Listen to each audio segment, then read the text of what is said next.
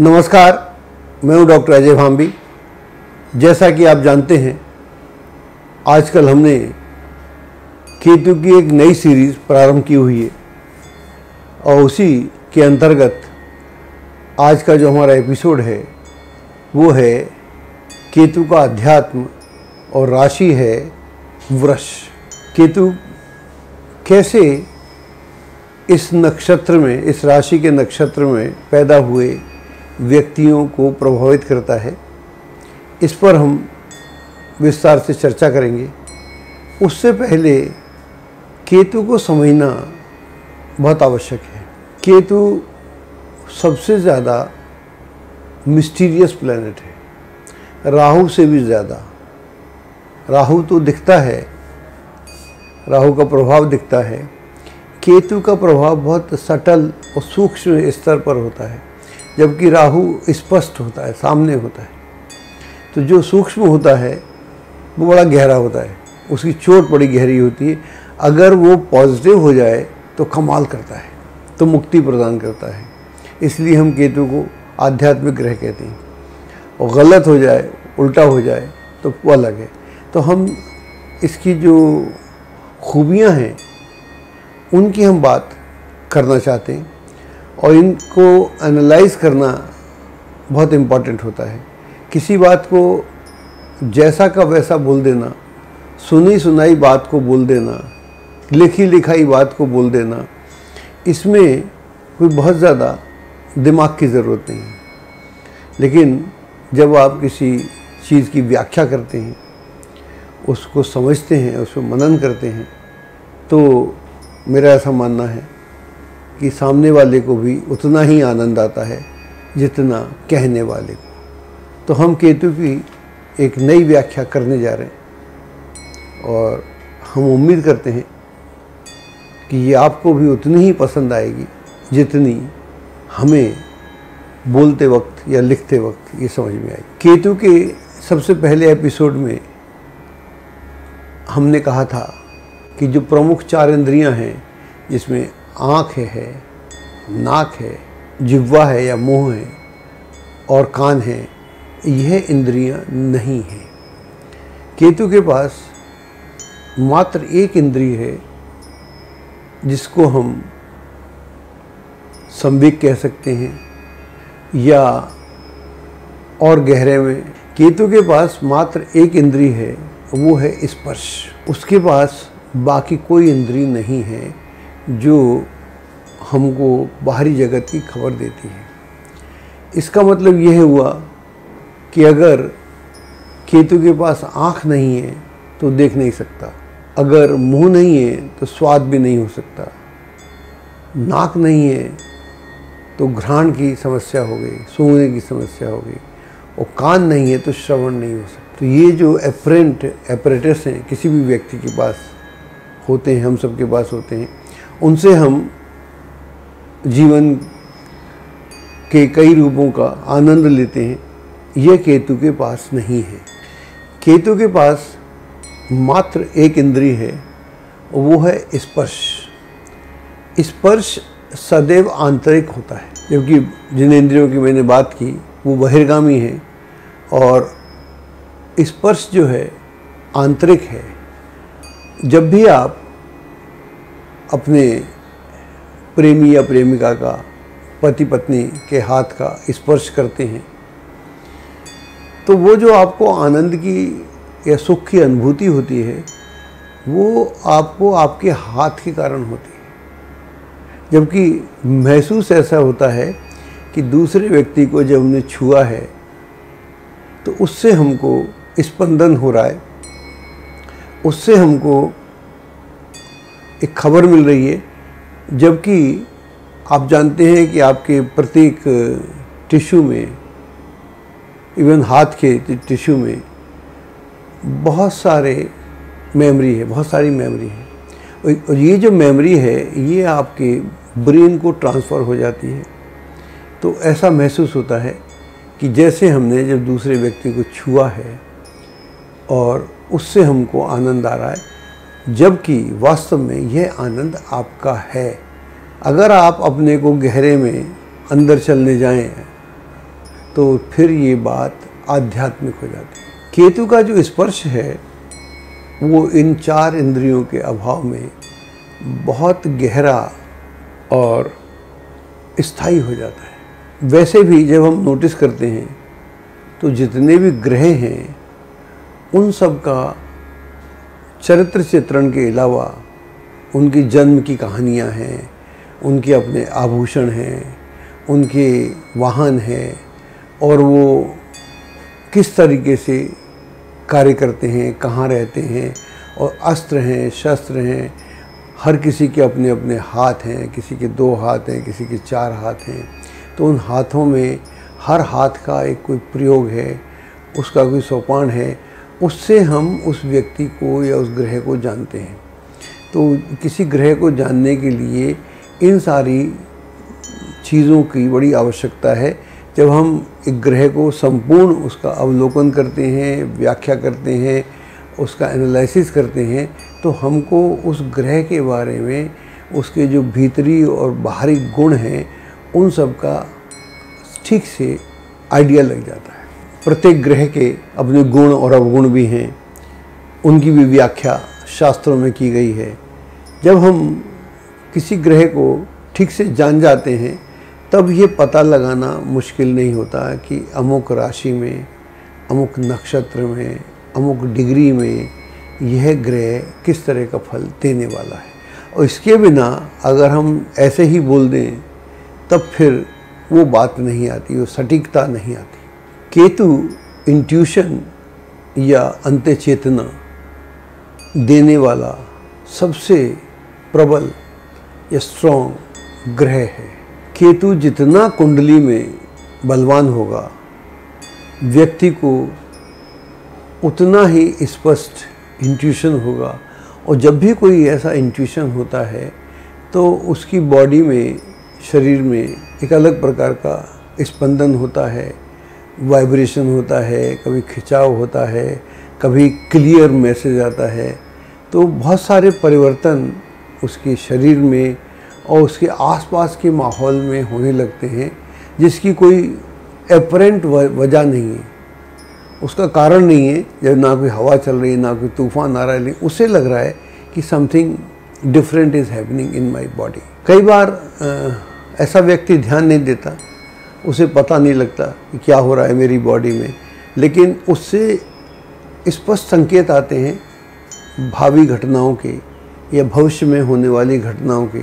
जब उसके सामने वो घटनाएँ घटने लगती हैं तो उसे याद आता है कि अरे, ये तो मुझे दिख रहा था, ये तो मैं महसूस कर रहा था, वो जो अनइजीनेस हो रही थी, उसका ये परिणाम है।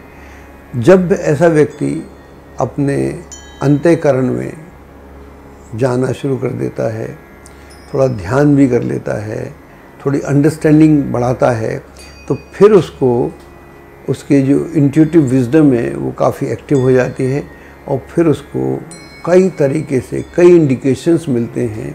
कभी दीवार पे कुछ लिखा हुआ मिल जाएगा, कोई आकृति मिल जाएगी, कभी कोई व्यक्ति आ रहा है, उसके आने से कोई, उसने कुछ बोला नहीं, अलग तरह की एक उसको आंतरिक सूचना मिलती है। तो इंट्यूटिव लेवल पे उसका एक अलग तरह की इन्फॉर्मेशन कह सकते हैं, प्राप्त होती है। फिर वो समझ जाता है कि भावी घटनाएँ कैसी होने वाली हैं। मैं जीवन में ऐसे कई व्यक्तियों को मिला हूँ, जो आपको देखते ही आपका अतीत, आपका वर्तमान, आपका भविष्य चुटकी बजाते ही बता देते हैं तो ऐसे व्यक्ति हाईली इंट्यूटिव होते हैं। और उनको अपने बारे में तो शायद कम मालूम हो, लेकिन सामने वाले के बारे में पूरा मालूम हो जाता है। अगर हम केतु को और गहरे में समझना चाहें तो हमें स्पर्श को, टच को बहुत चैतन्यता के साथ समझना पड़ेगा। प्रत्येक बच्चा जब अपनी माँ की गोद में होता है शुरू में तो उसका जो एक टच है, वो पूरी ज़िंदगी मिस करता है। और अगर हम ठीक से बोलें तो वो उसके उसके व्यक्तित्व का आधार भी वही है कि माँ से उसे कितना सुख मिला, कितना सुख उसे नहीं मिला, वो बीमार रहा या नहीं रहा, वो उसके जीवन में परिलक्षित होता रहता है। तो एक टच है जो कई जगह उसको रिफ्लेक्ट होता है, उसके व्यक्तिगत संबंधों में भी होता है तो इसलिए टच का बड़ा गहरा महत्व है। वर्तमान आधुनिक डिजिटल वर्ल्ड में हम बहुत सारे काम ऑनलाइन कर लेते हैं। ऑनलाइन आप अपने मित्र से, परिजनों से मिल सकते हैं, बात कर सकते हैं, बात भी करते हैं। सामने वाले के सारे हाव भाव दिखते हैं, हंस रहा है, दुखी है, कितना खुश है, कितना खुश नहीं है सब दिख रहा है, सब हो रहा है। लेकिन बिना स्पर्श के एक कमी सी महसूस भी होती है। तो स्पर्श जो है, वो सबसे गहरा है। भगवान कृष्ण भी कहते हैं कि जो पिता का पुत्र के साथ आलिंगन है, वो सबसे श्रेष्ठ है। वहाँ पर भौतिक सुख भी है और आध्यात्मिक सुख भी है। दोनों प्रकार के सुखों का वहाँ पर मेल होता है। और वैसे भी जब एक भाई दूसरे भाई का आलिंगन करता है तो एक परम सुख की अनुभूति वहाँ देखने को मिलती है। जब आप अपने मित्र के साथ छप्पी पाते हैं तो वो जादू की जप्फी हो जाती है। जब भी हम दूसरे व्यक्ति के साथ आलिंगन करते हैं, मित्र हो, बच्चा हो, दोस्त हो तो वो जो स्पंदन होता है, उसकी जो गहराई है, उसका जो सुख है, उसको व्यक्त नहीं किया जा सकता। उसे महसूस किया जा सकता है। तो केतु के पास वो आर्ट है कि वो चीज़ों को समझ के, छू के या उसको स्पंदन होते ही रहते हैं क्योंकि वाइब्रेशन से उसका कनेक्ट है स्पेस से उसका कनेक्ट है तो वो जो स्पेस में होने वाला है, जो अंतरिक्ष में होने वाला है, जो आकाश में होने वाला है, उसकी खबर उसे इस तरह से मिल जाती है जैसे हमने स्पर्श से विभिन्न तरह से आपको समझाने का प्रयास किया। यहाँ पर हमारे पास एक डॉक्टर लेडी डॉक्टर की कुंडली है और कुंडली आपके सामने है। और यहाँ पर कृतिका नक्षत्र में केतु विद्यमान है। कृतिका जो नक्षत्र है, सूर्य का नक्षत्र है। और सूर्य के नक्षत्र में केतु का जो तेज है, जो नेगेटिव है बहुत हद तक, ये काफ़ी एक्टिव हो जाता है। इनकी कुंडली है, कर्क लगनी कुंडली है और पंचम में राहु है, छठे में चंद्रमा है, नवम में गुरु है, मंगल है, एकादश में बुद्ध है, चंद्रमा है और केतु है और द्वादश में शुक्र है, शनि है। तो यहाँ पर जो हम देखते हैं कि केतु जो है कृतिका के नक्षत्र में है और कृतिका यहाँ पर हालाँकि लाभ के घर में है, ये डॉक्टर हैं, अच्छी हैं, सफल हैं, लेकिन इनकी व्यक्तिगत लाइफ बहुत डिस्टर्ब है। शादी बहुत लेट हुई और शादी में भी उतना सुख नहीं है। फिर संतान पैदा भी नहीं हुई। उसके लिए भी संतान गोद लेना पड़ी। और घर में भी कोई बहुत ज़्यादा सुख नहीं है। तो हम यह देखते हैं कि केतु जब कृतिका के नक्षत्र में होता है तो सूर्य कृतिका जो है, सूर्य का नक्षत्र है, वहाँ पर अगर उसे सपोर्ट ना हो या सपोर्ट नहीं है, सूर्य के साथ है तो अच्छा नहीं है। बुद्ध यहाँ ठीक ठाक है तो व्यवस्था हो रही है। राहु पंचम में, वो भी अच्छा नहीं है। तो इन सब के चलते तो जीवन में कोई बहुत ज़्यादा, जितनी उम्मीदें थी, महत्वाकांक्षाएँ तो बहुत थी, वो महत्वाकांक्षाएँ पूरी नहीं होती। लेकिन हाँ सफल डॉक्टर हैं, अब शादीशुदा भी हैं ही, बच्चा भी है ही, लेकिन उस सब में एक कनेक्टिविटी ठीक से नहीं है। व्यवस्था चल रही है, जीवन चल रहा है। तो अगर केतु के केतु कृतिका के नक्षत्र में हो और उसे प्रॉपर सपोर्ट ना हो। कहने को गुरु बहुत अच्छा है कुंडली में, लेकिन नमाज़ भी नीच का है। तो कुंडली में वो दम नहीं आती। और यहाँ पर केतु के प्रभाव से जो कुछ होने को था, वो समय पर नहीं होता।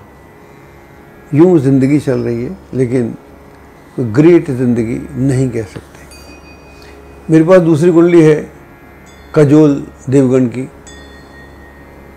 ये इनकी माँ तनुजा हैं और नूतन की ये नीस थी। पूरा परिवार ही, जिस परिवार में ये पैदा हुई, वो सारा फिल्मी परिवार है। इनके फादर भी डायरेक्टर थे, प्रोड्यूसर थे। तो ये एक उस परिवार से पैदा होती हैं जहाँ पर फ़िल्में इनकी विक्विन ग्रैंड मदर समर्थ, वो भी फ़िल्मों में थी, जो नूतन की माँ है। तो कहने का मतलब ये है कि यहाँ एक आप उस माहौल में पैदा होते हैं तो आप कुंडली देख लेते हैं, फिर बात करते हैं। तो कुंडली जो है कुंभ लगन की कुंडली है। कुंभ लगन में गुरु है, चंद्र है। चतुर्थ में केतु है, रोहिणी के नक्षत्र में। पंचम में शनि है और शुक्र है। छठे में सूर्य है बुद्ध है, सप्तम में मंगल है और दशम में राहु है। तो यहाँ अगर हम देखें केतु की स्थिति तो यहाँ केतु जो है रोहिणी के नक्षत्र में है।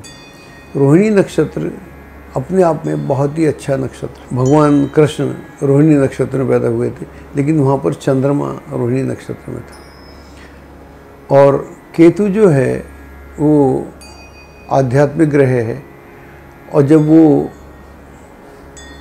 इस नक्षत्र में आता है तो यहाँ पर वो बहुत सशक्त हो जाता है।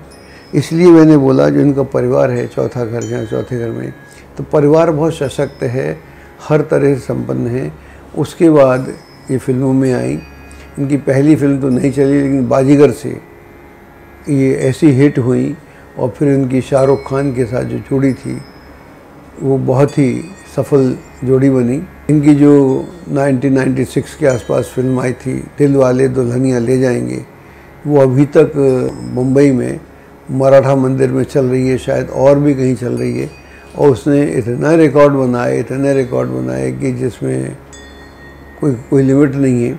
और इनको सात बार तो आई थिंक बहुत सारे अवार्ड मिले हैं। उसमें फ़िल्म फेयर अवार्ड भी है, जी के अवार्ड भी हैं और इनको पद्मश्री भी मिला हुआ है। तो हर तरीके से ये सफल हैं। और एक ज़माना ऐसा था कि सबसे हाईली पेड एक्ट्रेस थी। और जिस ये फ़िल्म होती थी, वो फ़िल्म अपने आप में एक गारंटी हो जाती थी। उसके बाद इन्होंने अजय देवगन से शादी की, इनके दो बच्चे हैं और सुख के साथ रह रहे हैं। तो कुंडली में अगर केतु अच्छा हो तो बहुत सारी गारंटी कर देता है। हालाँकि पूरी कुंडली ही अपने आप में सशक्त है। कुंडली को देख के कोई दिक्कत नहीं है, लेकिन जैसा कि हम कोशिश करते हैं, अगर राहु या केतु का कुंडली में अच्छा स्थान हो और उनका नक्षत्र भी बढ़िया हो तो फिर कुंडली में व्यक्ति को वो सफलता मिलती है जिसकी वो खुद भी कल्पना नहीं कर सकता। तो इस तरह की ये विचित्र कुंडली है और बहुत ही सफल व्यक्ति कुंडली है। अगली हमारे पास एक और कुंडली है, जिसकी हम बात करते हैं। ये शमी नारंग हैं, और इनका शमी नारंग को आप शायद जानते होंगे, लेकिन पुराने लोग तो खूब जानते होंगे।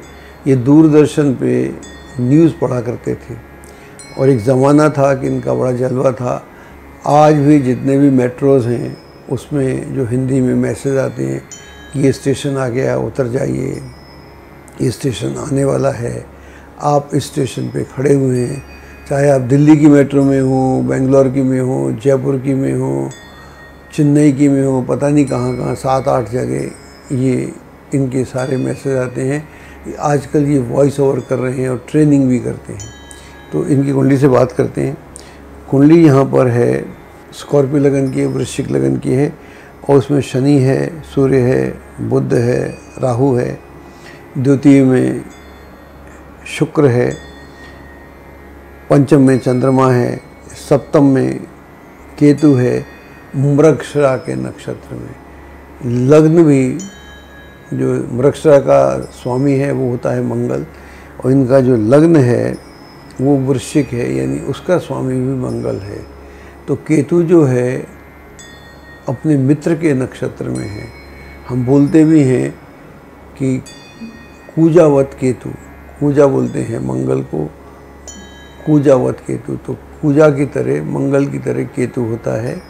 तो यहाँ पर जो केतु जो है, कुंडली भी एकदम से परफेक्ट है, और यहाँ पर ये केतु मंगल के नक्षत्र में होकर उसने इतनी इनको ऊंचाई दी, इतना इनका नाम किया कि कोई लिमिट ही नहीं है। आज भी हम इनकी आवाज़ हर जगह सुनते रहते हैं, बहुत जगह वॉइस ओवर करते हैं और कई कई जगह इनकी मैसेज हमको देखने को मिल जाते हैं।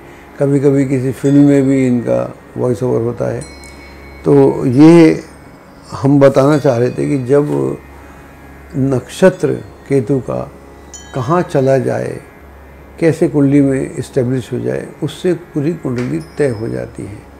और केतु को जानना हो तो केतु को जानने के लिए हमको आध्यात्मिक होना पड़ेगा मेडिटेटिव होना पड़ेगा और बहुत शुद्ध होना पड़ेगा। जितने हम नीट एंड क्लीन अंदर से होते जाएँगे, उतना हम केतु को समझ सकते हैं, केतु से हम लाभ उठा सकते हैं।